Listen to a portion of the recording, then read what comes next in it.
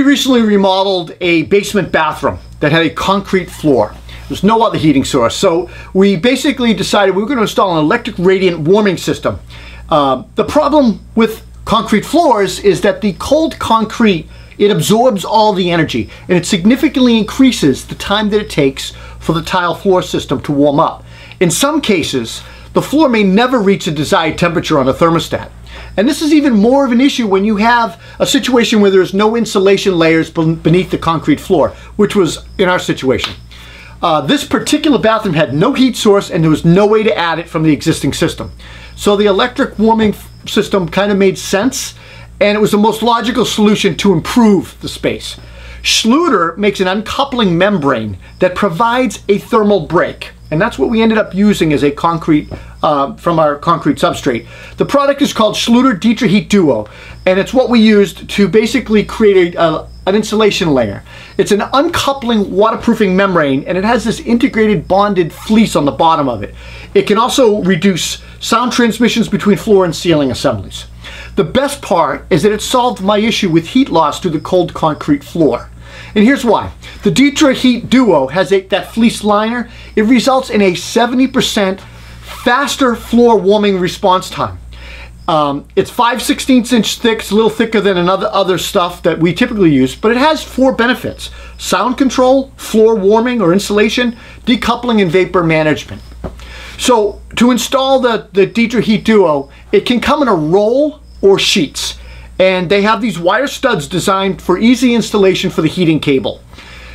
We chose to use the sheets and basically they're like, I don't know, three by five sheets. It was, it's a small room and it was also easier to cut and place around the toilet flange and floor drains. Um, when planning the system, here's a couple of tips that it's good to know. You're going to need a dedicated ground fault circuit interrupter, a GFCI. The Ditra Heat thermostats have built-in GFI, GFCI protection. You want to keep a minimum spacing following with your cable. Uh, you want two inches from fixed elements such as the uh, edges of walls, partitions, and cabinets. You want to use a four inch spacing away from any drains and an eight inch spacing from heating sources such as baseboard heaters, fireplaces, air conditioning ducts. Uh, and lastly, you want to stay seven inches away from the center line of the toilet in both directions and never install these, these heating cables underneath things like vanities, bathtubs, platforms, stuff like that, freestanding tubs. Um, because they can overheat in enclosed spaces and, and it can, it can, um, it basically could cause overheating of the cable. So as far as installation steps, a couple of things that we particularly do, when, especially when you're dealing with concrete, is you want to wipe down and clean the concrete. Then you want to moisten to saturate the concrete, and this will help prevent premature drying and skinning over of the bond coat. You want to dry fit all your parts on the floor. Make sure they fit ahead of time. You can number them. You can do whatever you need to do.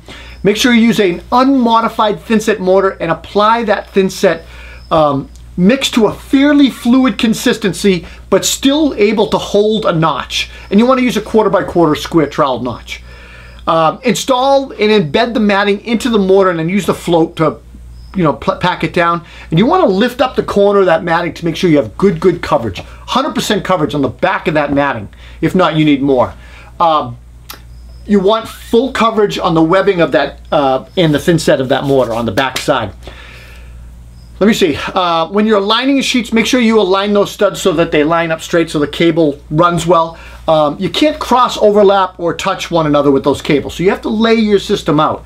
And when you're running your cable from the thermostat down to the floor, you want to use a dedicated cable run, which is uh, your electricians install for you.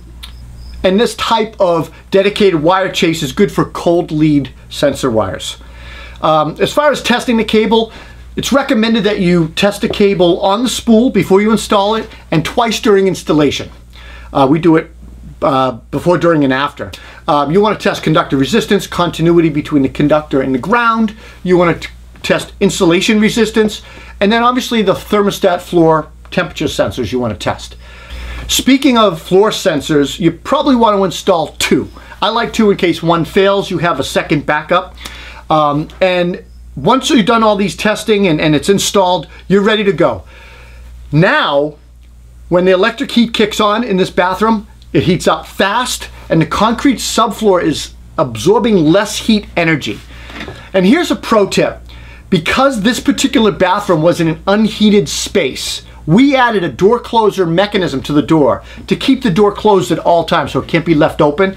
And this was good for heat conservation to prevent the thermostat from activating more than it needed to. I'm not going to be able to heat the whole basement. Guys, if you like this video, please give us a thumbs up and please consider subscribing. I'm Rob Robillard. We'll see you next time here at Concord Carpenter.